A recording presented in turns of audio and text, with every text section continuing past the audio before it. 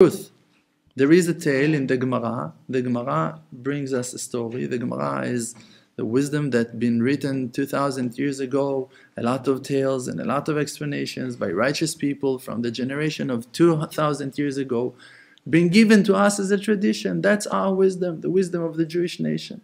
And in one of those volumes, in one of those books of the Gemara, there's a story on a person that was walking from one city to the other in the desert, on a path in the desert. And while he was walking, it was a very hot day, it was a very hard walk. So he was praying to Hashem and he said, Please, Hashem, can you give me a donkey? That's what he said. He said, Please, Hashem, can you give me a donkey? And then there was a. Um, um, Boy.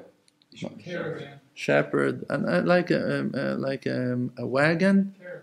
caravan that that came, wa- dro- drove close to him, riding their donkeys, their camels, whatever.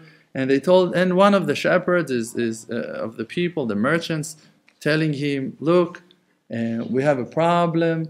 One of our donkeys uh, gave birth, and we don't know what to do with the with the calf, with the baby."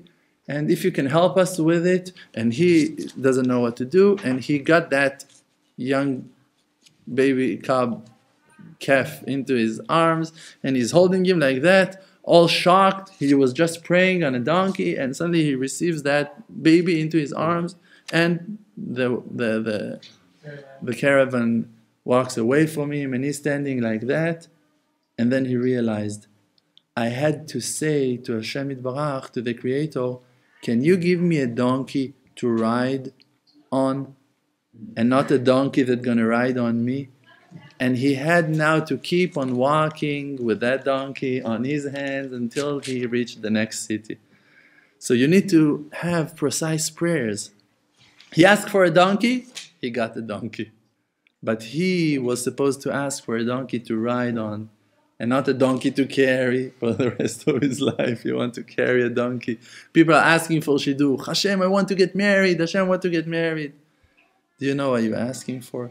Do you know what you can receive? Do you know how much you're gonna have to deal with? Who gonna be your mate, your friend? Who you're gonna get married with? What life mm, uh, are about to, to bring into your life that you're gonna have to deal with? So I'm not saying not to pray for a wedding. I'm not saying not to pray to have money to buy a house. But it's better that you're going to work on yourself to know yourself, what really your needs are.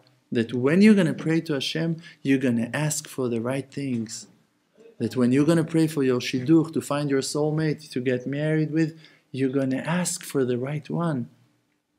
People wants to get married with a beautiful woman, with a beauty, with a handsome man, with a wealthy husband, with a very rich family you know how many troubles are coming in that package? You know how many things are, are, are joining to your life when you married someone that is i don't know what.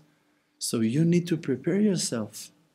Say to hashem hashem i don't want to work. Please help me. I want to have money and i don't want to work. Don't ask to marry a rich bride. It's not going to answer. You you might work 24 7 with a beautiful rich bride.